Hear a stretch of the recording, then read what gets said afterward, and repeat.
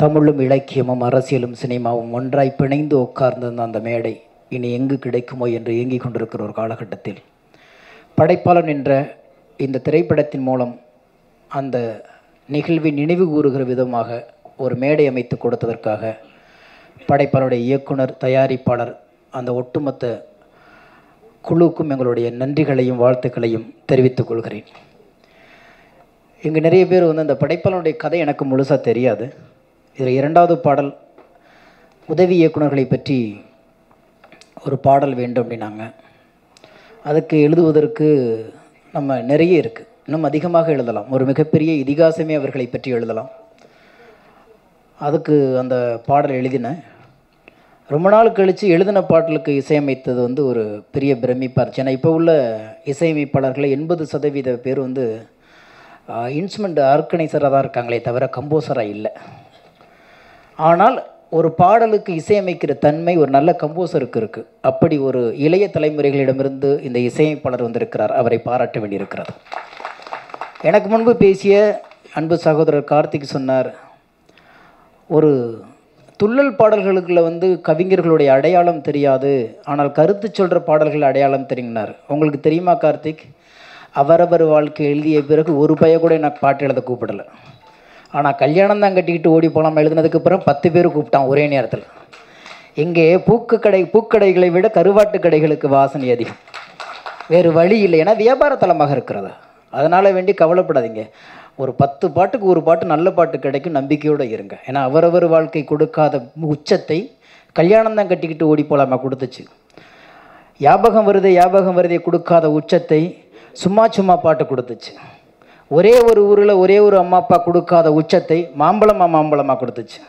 இப்படி ஒவ்வொன்றும் அடுக்கிக்கிட்டே போகலாம் மூவாயிரம் பாடல்களில் ஒரு பத்து பாட்டு தான் வியாபாரமான பாட்டு. ஆனால் அந்த வியாபாரமான பாடல்கள் தான் சினிமனுக்கு அடையாளம் இப்போ கூட தோழி கூப்பிட்டாங்க. பெண்கள் கூட்டம் குறைவாக இருக்கும். கொஞ்சம் பார்த்துருங்க என்ன நினச்சிக்கிட்டீங்க? அடுத்த கிருஷ்ணனாவே ஆக்கிட்டாங்க போல இருக்கு ஒட்டு மொத்தமாக அப்போனா இன்னுமே விழாவுக்கு வரப்பல இருந்தால் ஒரு பத்து பெண்களை வர சொன்னா தான் வருவேன்னு சொல்லிட்டு ஒரு கட்டளை போட வச்சுருவீங்க போல இருக்கு?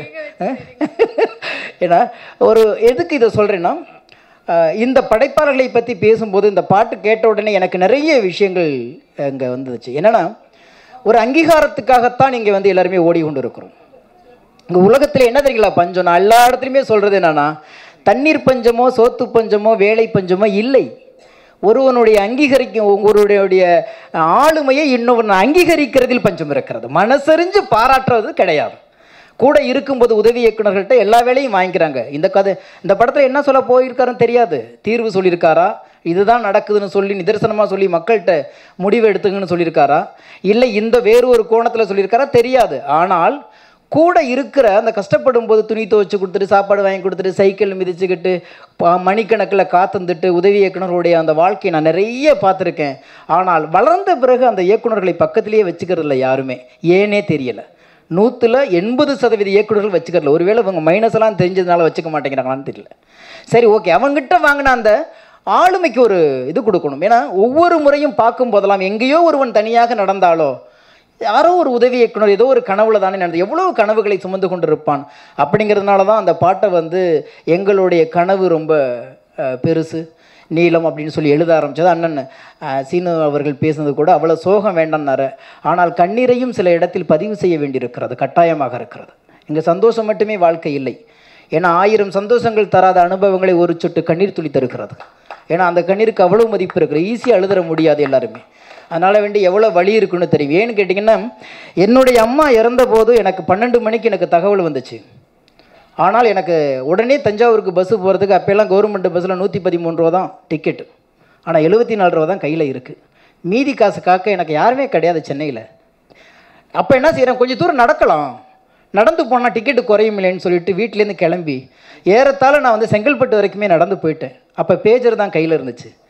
அப்போ பரத்வாஜோடைய மேனேஜர் சொல்கிறாரு எனக்கு ஒரு ப்ளீஸ் கால் மீ இமிடியேட்லி பாட்ஷான்னு சொல்லிட்டு ஒரு நம்பர் இருந்துச்சு. உடனே போய் பக்கத்தில் ஒரு எஸ்டிடி புத்தில் போய் பேசும்போது எங்கே இருக்குண்ணே ஊருக்கு போயிருக்கேண்ணே அம்மா இறந்துட்டாங்கன்னு தகவல் வருது அப்படின்னு. எந்த இடத்துல இருக்கண்ணே காசியில் நடந்து போயிட்டுருக்கேண்ணே இது ரெண்டாயிரத்தில் நடந்தது. அதற்கு பிறகு நீ அங்கேயே இருன்னு சொல்லிட்டு ஒரு இருசக்கர வாகனத்தை எடுத்துகிட்டு வந்துட்டு மீதி காசு கொடுத்து என்னை கொண்டு வந்து செங்கல்பட்டில் பஸ் ஏற்றி விட்டு போனார். அந்த நிலைமை வரும்பொழுதெல்லாம் என்னை தேடி வர இயக்குனர்கள் க சிரமப்பட்டு விடக்கூடாது என்பதனாலே அப்போ கொஞ்சம் நல்லா அதற்கு பிறகு ரெண்டாயிரத்துக்கு பிறகு நிறைய சம்பாதிக்க ஆரம்பித்தேன் நம்புறீங்களே இல்லையோ விருகம்பாக்கம் ஐஓபி பேங்க் இருக்கு இல்லைங்களா? அதில் வந்து ஒரு அக்கௌண்ட்டை தொடங்கி உதவி இயக்குனர்களுக்கு உதவி செய்வதற்காகவே முதல்ல ஒரு 50000 ரூபாய் அதில் போட்டு வச்சிருந்தேன். கேட்கும்போது காசு இல்லைன்னா என்ன பண்ணுறதுன்னு நவநிதி கிருஷ்ணன் ஒரு மேனேஜர் இப்போ அவர் சிக்கிமில் இருக்கார். இன்னும் பேசுவார். இப்படி அந்த அவங்கள்ட்ட சொல்கிறது எல்லாமே எடுத்துகிட்டு போங்க. சம்பாதிக்கும் போது கொஞ்சம் அதில் கொண்டாந்து போடுங்க. இன்னொரு உதவி இயக்குனருக்கு அது உதவும் அப்படின்னு சொல்லிட்டு அப்படி ஒரு ஸ்கீமை நான் உற்பத்தி பண்ணேன். ஏறத்தாழ ரெண்டு லட்ச ரூபா மூணு லட்ச ரூபான்னு போட்டுக்கிட்டே இருக்கோம். அது யாருமே கொண்டாந்து போட்டது இல்லை. ஆனால் அப்போ சொன்னார் நவநிதி கிருஷ்ணன் அந்த மேனேஜர் சொன்னார் உங்கள் நல்ல மனசு புரியுது எங்களுக்கு. ஆனால் வந்து நீங்கள் எதையுமே இந்த உலகத்தில் வந்து அவங்க அவங்களுக்கு நியாயமாக இருப்பாங்களான்னு தெரியாது. ஒருவேளை அந்த காலத்துக்கு அந்த காசு வந்த உடனேயே மனம் மாறிடும்.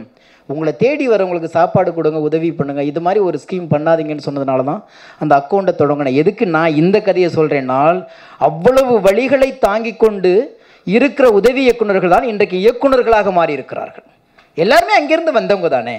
யாருக்கிட்டே கை நீட்டிக்கிட்டு யார்கிட்டயே வெளில வெளில வந்து ரோட்டுக்கல்ல டீ சாப்பிட்டுட்டு இன்றைக்கி ஒரு படம் த- ஜெயிச்சாச்சு ஒரு பெரிய ஸ்டாருங்களை வச்சு பண்ணியாச்சுன்னா அடுத்த நாள் உங்களுக்கு வந்து ஆடிக்காரு கிடைக்குது அப்படிங்கிறனால வேண்டிய ஆகாயத்திலேருந்து குதிச்சலையே. என் மண்ணின் கதையும் மக்கள் கதையும் பண்பாட்டு கதையும் எடுத்துக்கொண்டு அதில் இருக்கிற அந்த வழிகளை பதிவு செய்யும் பொழுது அதிகமான மக்களுக்கு அது பாதிக்கப்படும் போது நீங்கள் மிகச்சிறந்த இயக்குனராக ஆகிவிடுகிறீர்கள்.